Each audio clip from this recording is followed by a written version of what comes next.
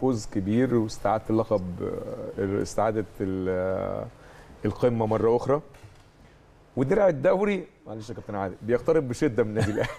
أيوه بيقترب. وأنا أنتم محسسين إن أنا بقول لا مش إن شاء. الله. أنت الحقيقة. بإذن الله الدرع الدوري ده في انت الأهلي الحقيقة. عايز أقول لك حاجة. الدوري في إنت الأهلي إن شاء الله. إنت بتتكلم بنتراهن لا، إن أنت الأهلي بتتكلم صح. إنت اللي لأ؟ بتتكلم صح. لا. إنت بالأرقام صح. وأنا معاك في إحنا آه. آه، ألف مبروك الحمد لله. آه، فوز طبعا 3-0 بكل سهولة. وده كان باين من الشوط الأولاني.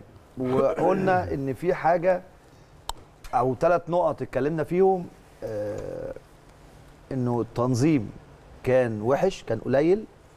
في حماس آه من من بداية الماتش. حماس وجري واللعيبة عايزة تثبت واللي ما بتلعب. تنظيم كان وحش. نص الملعب عايز إن آه، نص الملعب عايز يتظبط النهايات قلنا بننهيها وحش أو اللمسة اللي قبل الأخيرة وحشة التسديد تملي كان في إيد الجول.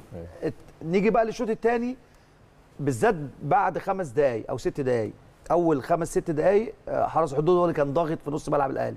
وفي كورة اترمت أوت آه، رامي آه، حاول يجيبها كان هيجيبها في نفسه مشيت جنب القائم الأيمن وعدت كورنر. وبعديها كورنر أحمد سامي حطها بدماغه والشناوي طلعها كويس قوي من تحت العارضه بعد كده نزل ديانج في الدقيقة خالد 55 سامي آه. خالد سامي انت قصدك على خالد الأوت بتاع سامي. خالد سامي. خالد سامي حطها بدماغه والشناوي طلعها. لا خالد اللي رمى الأول. الأولاني خالد آه، اللي آه. رمى اوت والكورنر سا... أيوة. خالد سامي اللي حطها آه، براسه. برضه.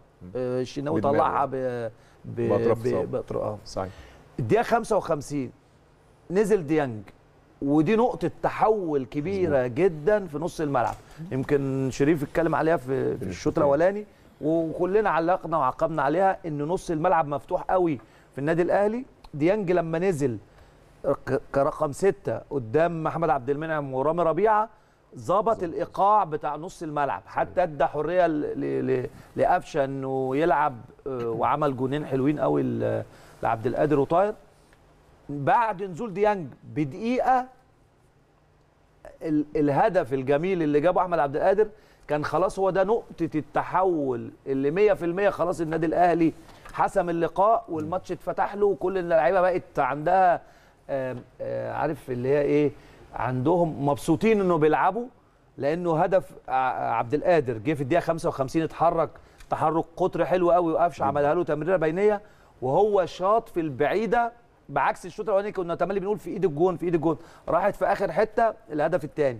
من الدقيقة 55 الأهلي تسيد المباراة خلاص تماما. 2-0 اللعيبة خدت ثقة في نفسها أكتر. اللعيبة بقت مبسوطة وهي بتلعب. التحركات بقت أحسن. ديانج ظبط نص الملعب هو وقفشه آه ثم هدف طاهر. برضو الهدف الجميل اللي قفشة وقف جوه ال 18 بكل هدوء. رجعها طاهر حطها ببطن رجله كويس قوي. الهدف الثالث فانت تسيدت الأمور تماما. حتى الراجل نفسه مستر كولر ابتدى بعديها ما فيش خمس ست دقائق ابتدى يعمل ثلاث تغييرات بيدي فرصة لشري... لبيرسي تاو والفخري وياسر إبراهيم وبعد كده كريم الدبيس لأنه خلاص الماتش كان انتهى.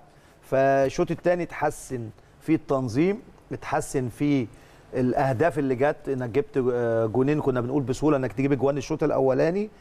المقاومة أصلا من حرس الحدود بقت أقل كتير هم بيلعبوا آه، اللي هو إيه لعرض نفسهم. في أندية ثلاثة طلعوا من الدوري الم- الممتاز ب بنبارك لهم طبعا كلهم. آه، أندية آه، أندية هتقعد وعايزة تدعم فكله بيعرض نفسه لكن الأهلي سيطر على اللقاء تماما. آم، في ناس طبعا أدت بصورة كويسة ومنهم أحمد عبد القادر منهم قفشة. وأكتر من لاعب وفي ناس وعبد المنعم وفي ناس كانوا أقل شوية أو محافظين على ادائهم شوية اللي هو مثلا عايز واحد زي علي معلول ما كانش عايز يبذل جهد كبير لأنه بيلعب على طول فكان مثبت نفسه في الخط الخلفي.